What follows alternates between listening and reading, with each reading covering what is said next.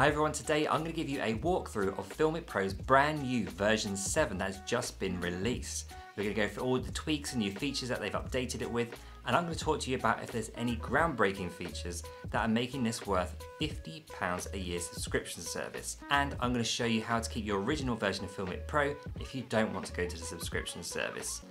Let's take a look. So in the top left here of the UI in version 7 of Filmic Pro, you can see we've got some reticules. If you press on them, this brings up QAM. Now QAM is the quick action model, so this is how you can change different modes for your focus reticule and exposure reticules. So reticule is simply the original that you'd normally have. You can move these around with your finger. Now you'll notice when they're unlocked, they are orange, which normally is pretty good in most backgrounds, but obviously this one, not so much but when you lock them, they stay red as with the old version of Filmic Pro, so that stay the same, but unlocked is actually orange instead of white. Now if you press on center weight, this is the action mode, sort of the run and gun situation that you'd film in, where you can kind of go through different exposures and focuses, and you can lock the exposure if you want to, if you want to keep the focus unlocked, that's something that can work as well. Then if you go to manual, this brings up different wheels that you can use for your exposure and focus. We can now see we've got LV. LV is your levels, which moves both your ISO and your shutter speed at the same time, if you wish. You've then got ISO below that, so that's moving just your ISO. So it works in a similar way to before, but slightly different layout. You've then got your shutter speed, so this moves in stages, at least in this part of the menu. And then you've got zoom, so you move this up, obviously to zoom in, and down to move and zoom out. Now, of course, you've got these red and green lines now, which you'll see in the zoom area. This is how you create a zoom pull. Now, if we go to the focus side, let's say we want to keep the focus on our Negan character here. We'll tap on the orange line that stays just the same as the white lines before. This one stays in the middle always. So tap on that yellow line. We've got the shallow depth of field. That joins up the turquoise line with the orange line. Move the focus away to Harley Quinn there tap the orange line and that brings the pink line to it. So now if we touch the turquoise line, that now brings us into a nice automatic focus pull. Tap the pink line and it does it in reverse. Now you can't change the speed of the focus pull currently in Filmic Pro version 7, but they have said they're working on bringing that back before Christmas, so that's a function that will be coming back to version 7. If you go to the bottom left where white balance is, this is pretty much the same as before, if not exactly the same. The symbols on the bottom left here for the presets are very similar. I think they do look a bit better, but it's essentially the same thing. You've got A, so you can make up a preset for your white balance, and B as well. Now, this is one thing that's a nice little touch that they've added. So you've got auto white balance. If you press that, that goes blue like before. But actually, the differences between the white balance modes is much clearer. So we tap on AWB again. That's red, so white balance locked. Tap it one more time, and white balance auto locked on record. So the difference between the red and the orange before was really minimal, so it's really hard to tell the difference between whether it was already locked or whether it be locked on record. But now, as you can see, that's much different and much easier to differentiate as well. If you look next to the white balance on the bottom left, we've got a lens picker. So my phone has two lenses, it's an iPhone 12, so we've got the wide angle here, which is 26 millimeter. So you can see they've added a bit more detail to this as well, which is nice. And you got the wide angle lens, which is being blocked by my tripod, which is holding my microphone. If you go back to the wide, you can see on this dial here, you'll actually see that field of view changing by the degree as you go to and from different lenses. And of course, next to it in orange here, you've got the rear facing camera for selfie mode as well tap on the screen and that'll get rid of that menu. Now the timecode medallion at the bottom is basically exactly the same as before, slightly different look, but it's exactly the same really. Your frames per second, your resolution on the left, and your battery levels and your storage levels on the right. If you tap on it, this brings up your waveforms, and you can come back to your timecode medallion. On the right hand side, you've got these lines. This actually represents your live analytics now. So if you press on that, You've got off to keep all your live analytics off. You've got reactive as well, so if you turn on focus peaking, for example, and then you hold on focus so you can change that, you'll see that that changes as and when. If you turn it onto reactive, that will also change as and when without having to actually select focus peaking. You then also, if we turn that off for a moment, got zebras. So you got the overexposure areas in red and the underexposure areas in blue. That now moves, so it kind of makes it a bit clearer, which I quite like. False color, so this is a really professional version of false color compared to the last version of Filmic Pro, and as you've seen, focus peaking. Play button shows you previous shots.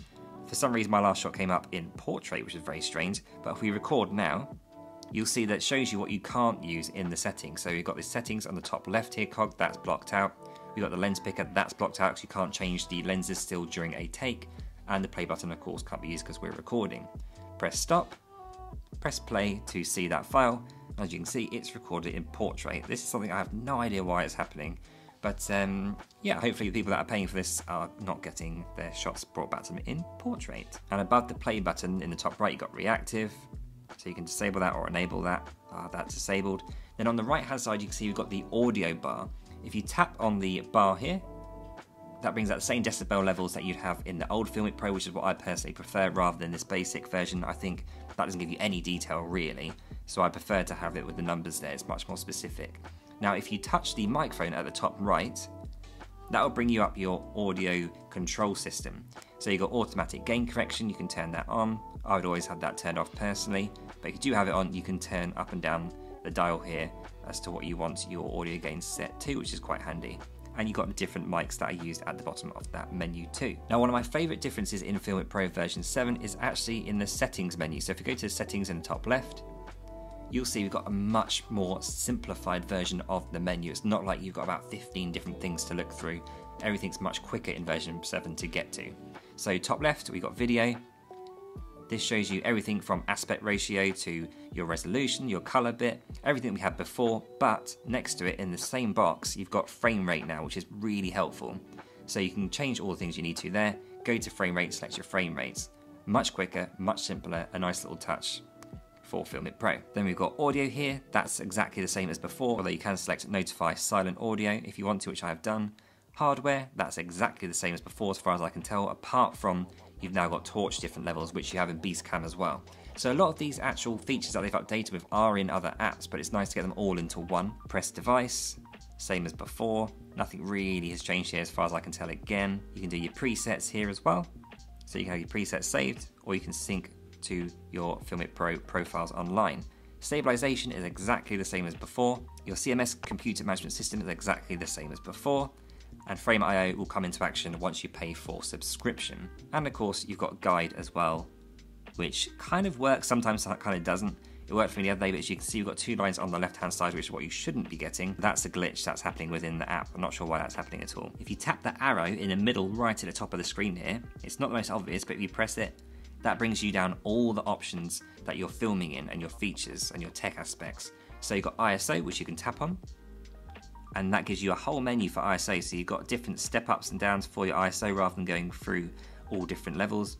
I personally would always have it as lowest because that's going to give you the cleanest option. Then you can tap on shutter speed, which gives you a similar menu with more detail about your shutter angle in degrees, that kind of thing, which is really nice to see. It's a nice touch to have in Filmic Pro. Again, some of these features are in other apps, so it's not exactly groundbreaking, but it is nice to have it in Filmic Pro now. Go to color temperature, Exactly the same thing, similar menu to before with your white balance, except a slightly different layout. Your minutes, that actually comes back to encoding menu, HEVC10, back to where you can change your codec, and then your natural profile that I'm currently filming in, which you can change to linear, HLG, or log v3 if you want to go into color grading, that kind of thing. Timecode medallion at the bottom is very much the same, the details there. And if you press on Pro in the top left hand side of your screen, this will show us a menu describing what we're looking at now and what the prices are. So it says, Dear user, if you don't have an active subscription, you will be able to rewatch your videos in the app video library, but you won't be able to share, export, or access them through your file system. If you bought the Filmic Pro app, I believe it's before August the 25th, 2022, then you are subject to a loyalty discount if you want to go to the subscription model. So instead of weekly at $2.99, you'd be paying $1.99 a week. If yearly, you'd be paying $50.99.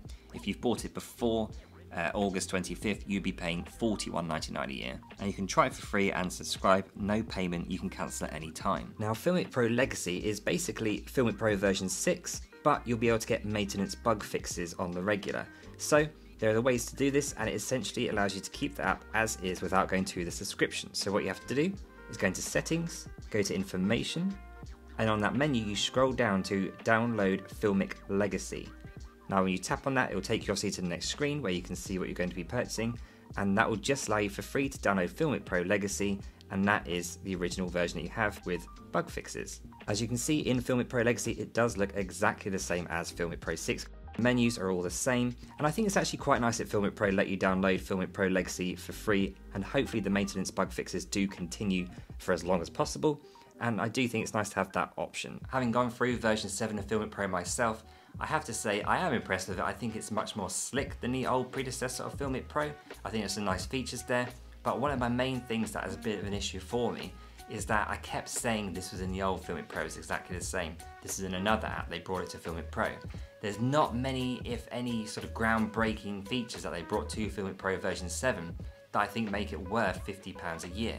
Now, if you're making your living from smartphone filmmaking, which I definitely am not, then of course it's an expense, you just pay it and it's worth it. But for the majority of users, I don't think many people are going to go to the subscription service do let me know though down below in the description what you think of Filmic Pro version 7. Are you going to stick to the version 6 that you have? Or are you going to go to the subscription service? Or are you even going to go to a different app? If you do want to look at different apps, I suggest checking out Beastcam first, and that video of mine on it is right here. See you on the next one. Take care. Bye bye.